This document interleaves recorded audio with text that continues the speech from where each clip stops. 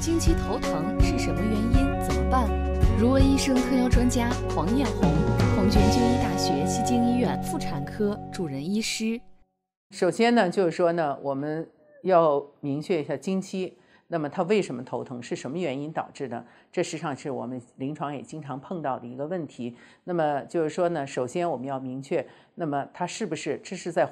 经前在黄体期，它是不是就已经开始出现这个问题了？还是在来月经的时候就出现的？那么这样的话，就是说呢，如果在经前黄体期，那么就开始呢就有这个精神的一些影响、情绪的影响和一些综合症呢，我们考虑患者有没有经前期紧张综合症。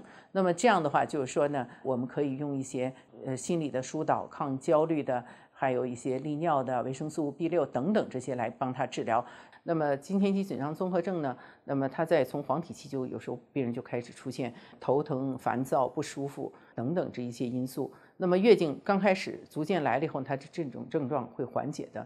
同时还有一些呢病人呢，就是说来月经的时候呢，是不跟水钠潴留有一定的关系？那么可能会影响到，可能还有一些跟神经性的一些都有一定的关系。所以呢，这个呢，我们就是说呢，可以用一些镇静的药、止痛的药，那么可以用一些利尿的。比如说我们用的嗯螺内酯啊等等这些都可以，可能会在某种程度上会缓解他的这个头疼，会用一些镇静的啊镇静的药，阿普唑仑啊等等这些。